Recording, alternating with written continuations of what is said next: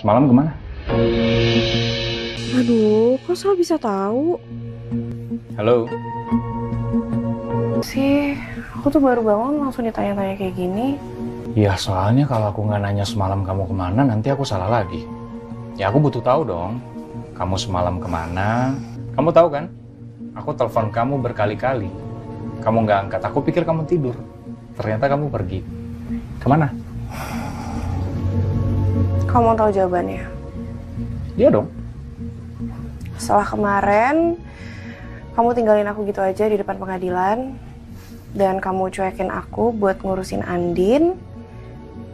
Menurut kamu aku harus ngapain?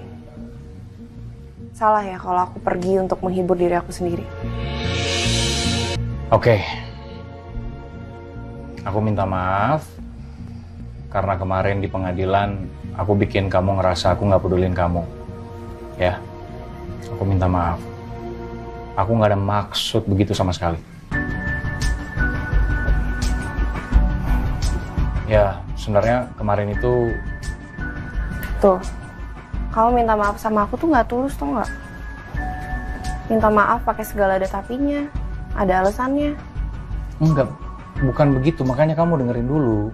Suasana di pengadilan kemarin itu chaos banget, Sienna. Andin itu sampai pingsan. Andin lagi, Andin lagi heran deh aku. Seriously? Kamu mau bahas itu sekarang? Ya. Yeah. Oke. Okay.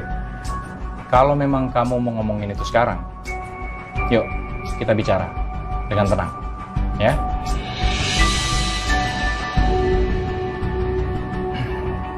Jadi sebenarnya ada apa antara kamu sama Andin?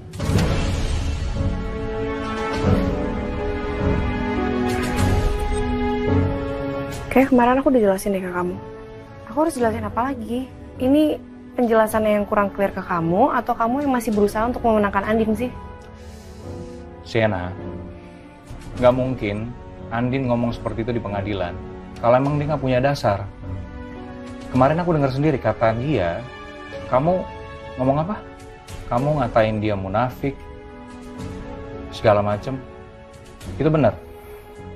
Kalau emang benar kamu ngomong begitu ke dia, alasannya apa? Kalau kamu percaya sama Andin, ngapain kamu ke sini buat ngomong sama aku? Loh? Ya kamu urus aja dia sana, kamu percaya sama dia kan? Loh, nggak gitu dong. Justru karena aku pengen masalah ini selesai, aku harus dengar dari dua pihak. Dari kamu, dari dia. Dengar dari dua pihak, tapi sekarang kamu mojokin aku.